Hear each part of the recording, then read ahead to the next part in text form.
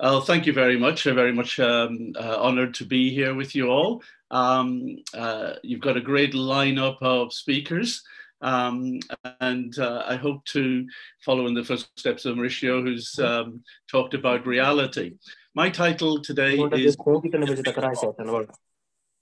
Can Physics Accommodate All of Reality? And I want to tie this in with um, an understanding and how this links with our overall uh, Sankhya and Vedanta picture of uh, reality.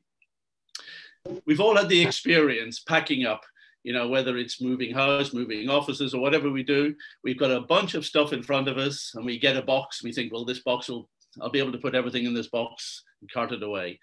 As we put things in, we realize it's not going to fit there are things I'm just not going to be able to squeeze into this box no matter how hard I try. And we conclude we need a bigger box. And my suggestion is that is our relationship with modern physics.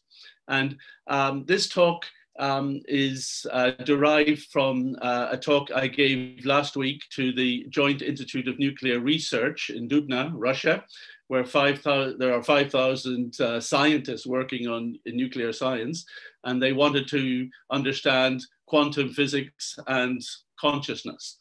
And to do that, they under, need to understand the role of physics, its limitations, and why we need a bigger box. So here it is.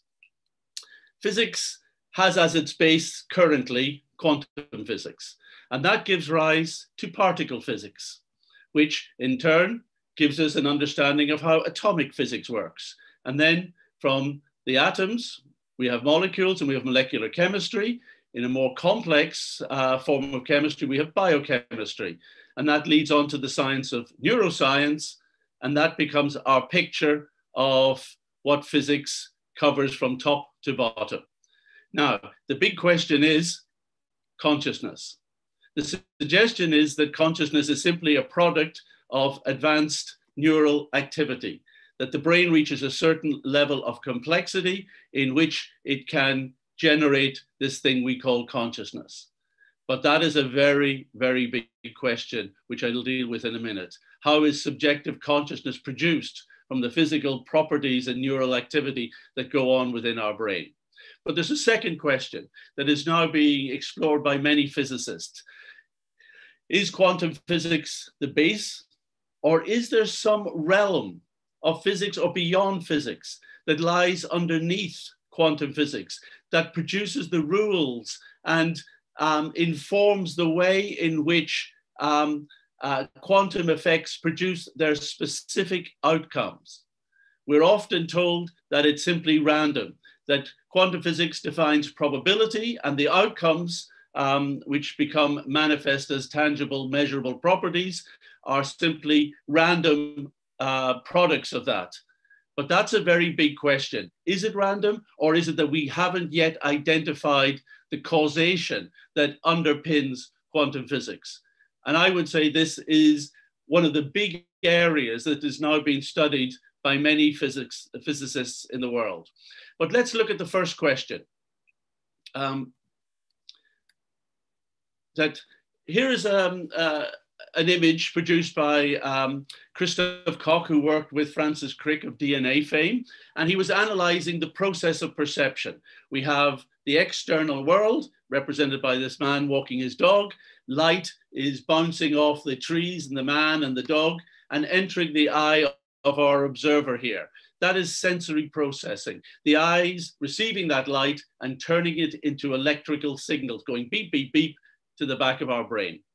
And there um, we have uh, neural activity and information is now present within the brain representing that external scene, but that information is now in the form of charges, electrical charges jumping from one neuron to the next, forming little patterns and represented by this sort of barcode that is uh, considered to be a neural correlate um, of consciousness. So it represents something we're perceiving. That's all fine. We know that. This is all the good stuff. This is all the easy stuff. But the next question is the bit of an issue. How is it that that electrical data then generates the picture, the imagery that we actually experience in this whole process. Now, this is a hard thing to get our heads around because we take it for granted every day. We think because our eyes are looking out of the world, the world is picturesque. Therefore, of course, I see a picture. But we don't appreciate that what that the aspect of the outside world that we're looking at was only light, and that light has been decoded or um, into electrical signals, and that our brain has only got electricity. It has no picture. Um, if you want, try this little, it's a kind of schoolyard uh, experiment. Take your fingers like this in front of your eyes, just a few inches, bring them together. And what you see in the middle, just in front of uh, your third eye, is a little kind of finger sausage. Try it. You're seeing something, and you have to see, understand you are seeing something that doesn't exist there. You are seeing something that doesn't represent the outside world. Why? Because one eye is sending um, information back, your left eye is sending one uh, image back, your right eye is sending another back, but these are being combined inside your head by the brain or by the mind. And it's producing an, an experience for you that doesn't 100% correlate to the outside world. So, and it has properties. The properties that of our uh, vision, we have, we see colors, we see um, shapes and movement. We assume that we see them because they're on the outside world. But actually, the brain has none of those things. There is nothing to do with color in the brain. There is nothing that is the actual property of color. It is a property generated by the mind. And this is considered to be part of the hard problem of consciousness that absolutely stumps neuroscience. How do you accommodate the qualitative um, properties of our experience, which are called qualia? How do you accommodate qualia into the physics that we know about light and neural activity? That becomes the hard problem. And that isn't even the end of it, because we then have to ask why? Why is brain activity being converted into something, not by the brain, but by something else? Who is that for? What is that for? Who is the observer of qualia? Who is the observer of, ever, of all our um, internal perceptions? that becomes a secondary question of consciousness. So these are the issues that exist. And therefore, we have to identify three different uh, functions that are happening. And we have to realize we can't put this all in the box of the brain. We can't put mind and we can't put consciousness into the box of the brain. They have properties which don't fit, they have functions which don't fit. So we have three main functions. We have physical functions represented in the brain by neural processing. We have the qualitative functions of the mind, mental processing, cognitive processing, and we have the functions of consciousness proper, the actual ability to experience and the sense of existence. These belong to consciousness proper and cannot be found located within the neural activity or the cognitive activity. So this gives us a kind of three function model of awareness. The body, brain with its biological and neurological functions, the mind with its mental states and cognitive functions, and consciousness, which has its sentience functions. So brain, body brain complex, we've got mind, we've got consciousness. That is actually a unique contribution from the Vedic texts because in the West, brain is conflated with mind and consciousness. And for many philosophers, even if they separate mind from the brain, they conflate mind and consciousness. But actually, we will only make progress in understanding their individual functions and contributions and how they can be taken advantage of and utilized when we uh, see that these are diverse, distinct uh, functions, uh, aspects of reality. And of course, just to complete the picture, we might as well have the outside world with its physical functions. So world, body, brain, mind, and consciousness. This is going to form the analysis that we'll follow today. And we know that there is sensory processing between the body and the world. That's the activities of our eyes, our ears, our nose, tongue, and touch, and so on. And we know that there is cognitive processing. The mind is taking that data in the brain and producing imagery, impressions, emotions, experiences that are then felt and are um, experienced directly um, by consciousness. So consciousness is responsible for felt experience and one other important function of consciousness, volition. And that will pay, uh, volition will demonstrate the link between consciousness, information, and manifestation in this world. So we'll come to that in a minute. But let's look at the uh, cognitive processing uh, aspect, just to demonstrate that mind and mind and physical uh, processing are two different things, but they can be they can influence one another.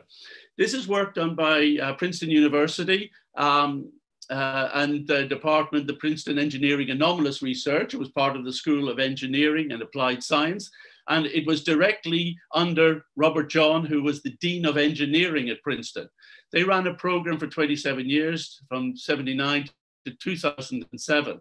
And what they were studying is the effect of human intention on physical systems, electronic systems, and even physical systems.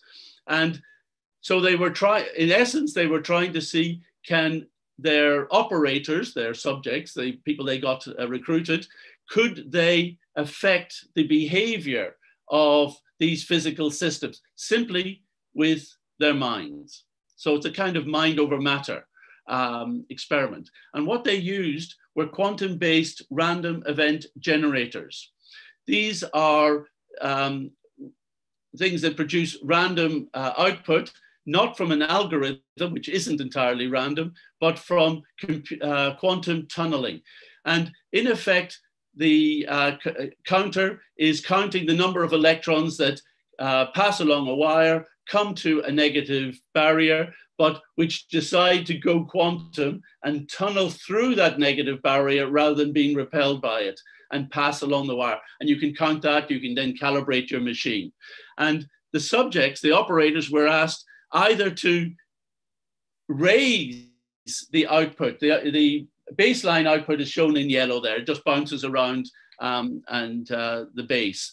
But the subjects were asked, could you get the more uh, electrons to go quantum and raise the output, or could you get fewer uh, to go uh, quantum and lower the output? And these are the sort of results they came up with. This is after 120,000 trials of those trying to raise. Um, the accumulation shows a very large deviation from the norm. Um, the uh, parabola line uh, shows the uh, uh Z2 score. Um, so this is way above uh, Z2. You're close to three, four um, in this case. And for those trying to uh, reduce it, that was the deflection. So after a total of 800,000 trials when they completed their uh, work, they accumulated every single result, the good, the bad, the indifferent. And they found that they had deviation from the statistical expectancy of one in three billion. This is serious science produced in a serious university demonstrating that the mind is capable of influencing physical systems in the form of, and particularly quantum systems. But they also showed that the same effect could be there in a mechanical cascade. Um, they, they even experiment with pendulums, fountains, and other things.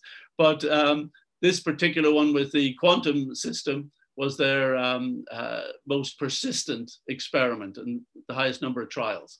So, how does it work? There's a famous joke. Um, the scientist is looking, well, I can see this works in practice, but what's your theory? And science always needs a theory to attach things to. Unfortunately, modern physics, if it stays within its little box, can't produce a theory how mind could, could affect physical systems. Therefore, it attacks these type of results because it doesn't fit in the box. And that's not how science should work. Science has to understand that when I can't fit something in the box, that's the time to look for a bigger box. We need a bigger theory. We need a bigger understanding of reality to put these things in.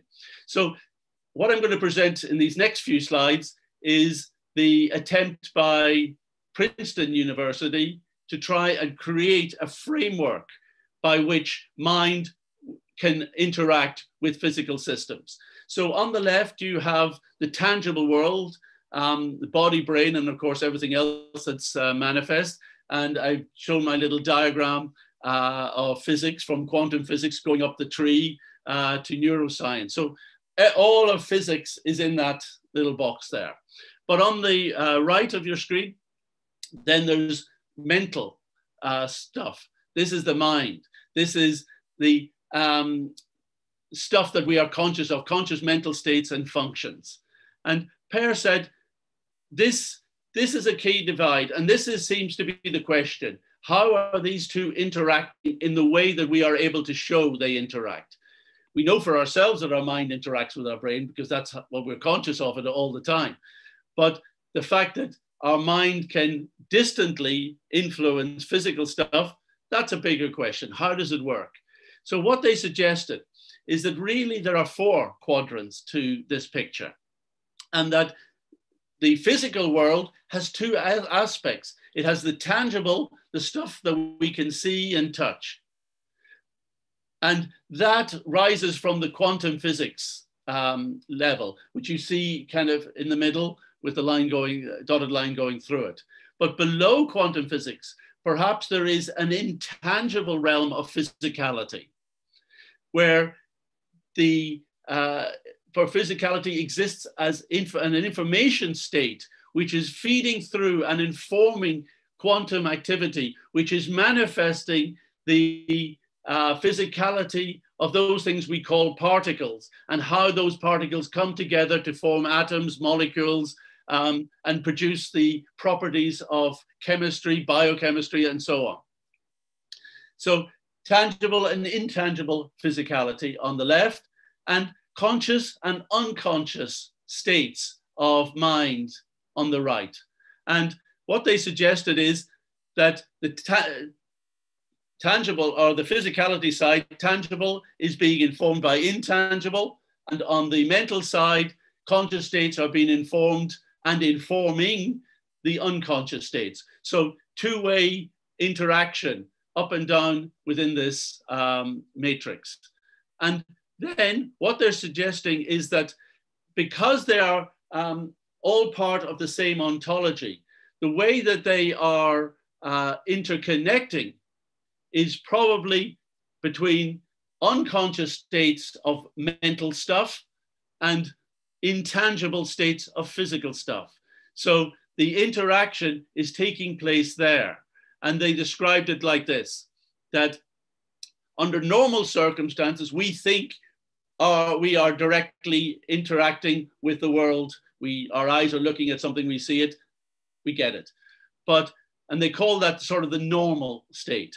But this other one is what we call anomalous. And it's only anomalous because of the prejudice of physics, thinking that everything has to be normal.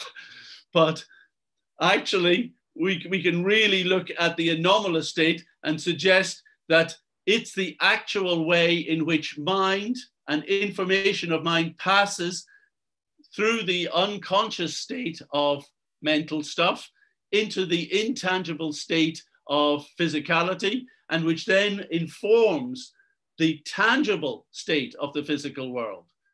And vice versa, um, that information is being decoded about the world and passed to mind. So we would actually uh, make this as a kind of adjustment to PEAR's um, uh, model.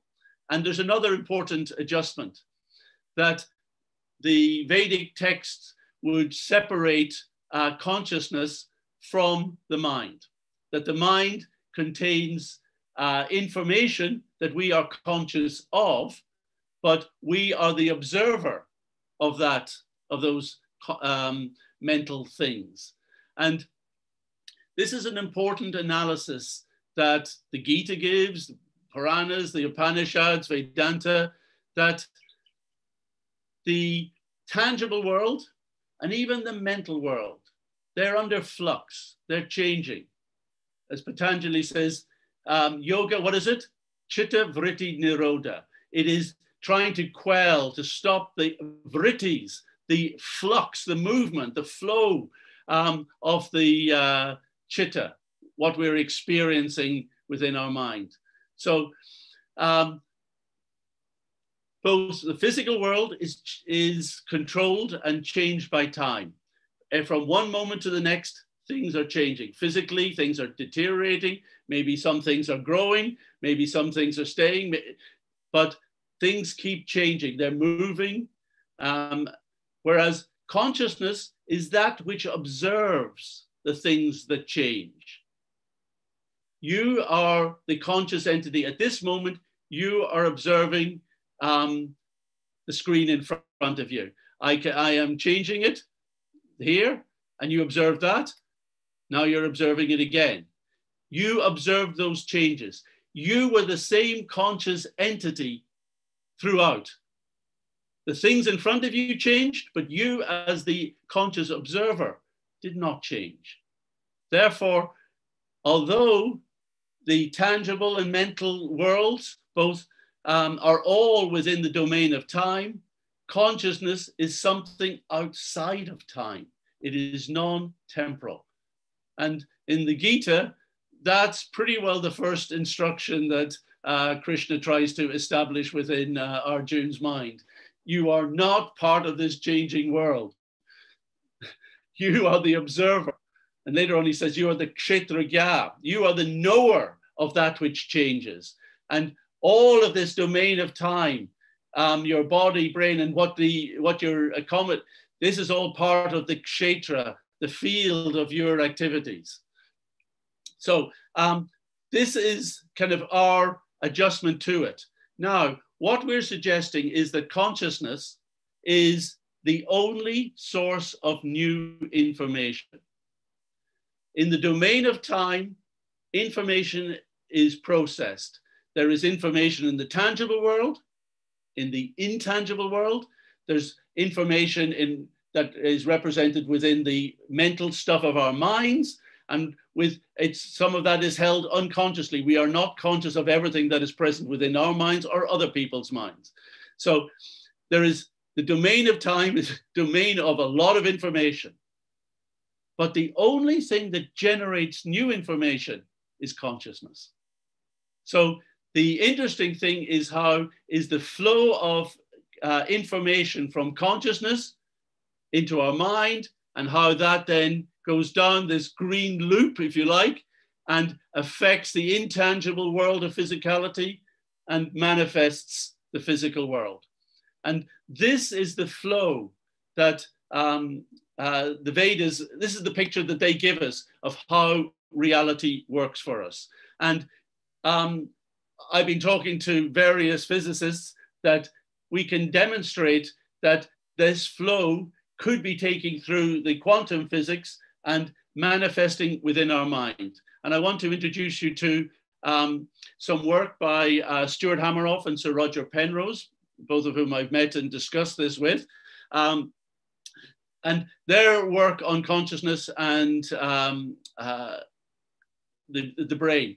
I don't agree with what they say where consciousness comes from, but what I want to present is the evidence that they have come up with, which indicates that there is a route by which consciousness, intention, and the mind can interact with the activities of our brain cells. So this is uh, a typical neuron. Um, the large uh, blue part on the left is the kind of main part in which there is the nucleus. Um, around the nucleus, there are these orange, uh, or yellow-orange uh, kind of curves. That in this diagram represents the microtubules, which are cylindrical uh, molecules in which quantum processes are seen to work. Now, a lot of people thought that you can't get um, uh, quantum activities in biology because it's too wet, messy, and noisy in quantum terms. But now they're starting to show that actually there are a lot of uh, there's a lot of quantum activities within biology, and biology seems to rely on it. So the flow of direction is um, that uh, is towards um, our right here, um, shown by the red line. So let's look at um, what's happening. Charge builds up, positive charge builds up on the outside of the neuron, but it's held back by what is called the axon hillock. The axon is the long uh, line going to our right. Um, so there's a sort of threshold there which holds the charge back until it reaches a certain level, and then the uh, uh, neuron will fire. And you would think that each neuron would have a very fixed threshold at which it fires. Because if it didn't, then, you know, the things are just going off well, however they like. But actually, the threshold is variable. That is a very big deal. The threshold on which each neuron fires is variable. It is not fixed. So the question is, what is influencing that variability? What is making it hold more charge back and not fire? What is holding it, uh, making it um, susceptible to firing earlier than it might otherwise have done? So uh, and Penrose have identified that the culprit, if you like, is the quantum activity produced within these microtubules. That it is somehow or other manipulating the axon hillock. And in this case, it has made it stronger and held back more charge. And in the next case, it has reduced the threshold and allowed the uh, neuron to fire. So if we've already shown that intention, the mind, can influence quantum activities in physical stuff, is it that the mind can influence quantum activity within each of our neurons? And that therefore, at the basis of how our neurons are firing is manipulation by our thoughts. So this is still early science. We cannot say for absolute sure this is the root, but we can certainly say this could be a root. And we can certainly say that you cannot claim that a non physical mind cannot affect the brain. You cannot say that. You cannot deny that the possibility just because of bias. We've actually got a system here that could be the root in which the mind is directly influencing um, each neuron of our brain. So back to our picture now, and just in this final section, just want to kind of wrap up um, uh, the Sankhya uh, picture. So we have the world, body, brain, mind, and consciousness. And really, the world, our body and our brain, that's the world of physics. That's the box that physics has. And the border, we've said, is quantum physics. The Sankhya system doesn't talk about quantum physics, but it does talk about subtle states of information, um, of physicality. So it has this, and it puts um, those subtle states of physicality um, and mental states into a box called Prakriti. So the tangible and intangible, the conscious and the unconscious states of mental stuff all fit within this picture we call Prakriti. And this is the the world that um, uh, Mauricio was exploring through Shabda and the flow uh, of how uh, mantra, um, first emanating from intention of the mind, becomes established as subtle Shabda, and which um, then uh, becomes information within the intangible realm, which then manifests in the tangible world. So there is a flow of information. Now, the understanding is that um, Prakriti at its base is undifferentiated stuff, but it can manifest the diverse properties of the intangible and tangible world, and it can manifest the different properties of mind and uh, in both the collective and unconscious state, as well as the actual forms that um, we find within our own minds. So Prakriti is the base, the substrate for diverse properties. The Western preoccupation with Cartesian dualism is very childish. Mind and the world interact, therefore, they must belong to the same ontological grouping, and that grouping is Prakriti. However, what um, so that then our, we would take the same flow as the PEAR example did. And the reason is because PEAR and others in this field, in order to try and solve the theory, looked to the East. They examined the ideas of Sankhya and tried to bring them in. That's why there's a correlation. Sankhya isn't copying physics, physics is copying Sankhya. But besides this, then there is consciousness. Consciousness doesn't fit within Prakriti. Prakriti is the world dominated by time, whereas consciousness is in the non temporal. It doesn't even fit within the box of Prakriti, it exists outside it. But for us, we are shining our light. We are svadrik. We are self luminous. We are shining our light of chitta onto what is there in the mind. And the mind is telling us what it's picking up from the body and the brain and feeding us imagery of the world and experiences of the world and consciousness going, that is very interesting. Yes. But it's taking on a roller coaster of emotions because our sensory experiences of this world are sometimes wonderful, but sometimes nasty, sometimes terrifying, sometimes painful, and sometimes pleasurable. It's a roller coaster. And consciousness is going through this roller coaster. Why? Because it's identifying with the activities of the mind. The mind is processing everything of the world and what our body is experiencing, and it is feeding that. That is what's coming up on our screen of consciousness.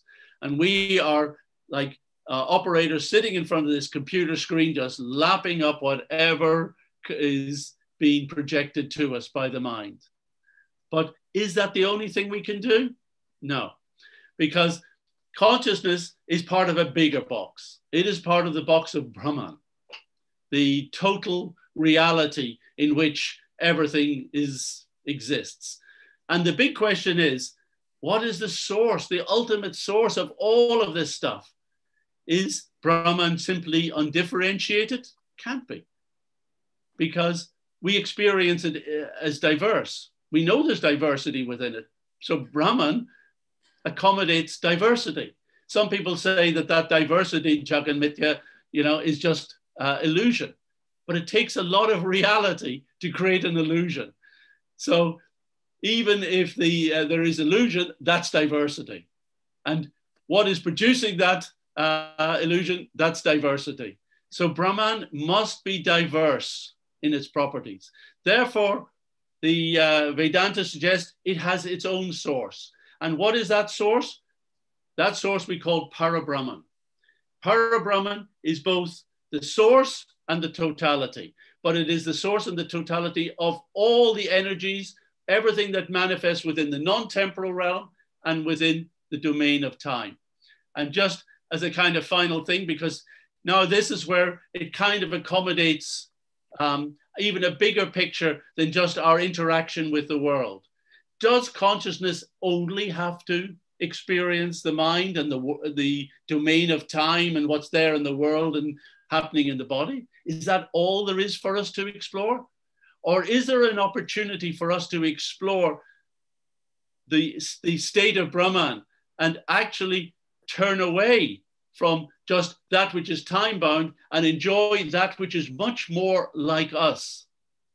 The pure state of consciousness, Sat Chit Ananda, that where we're full of beingness, we're uh, full of knowingness, and we're full of, full of lovingness.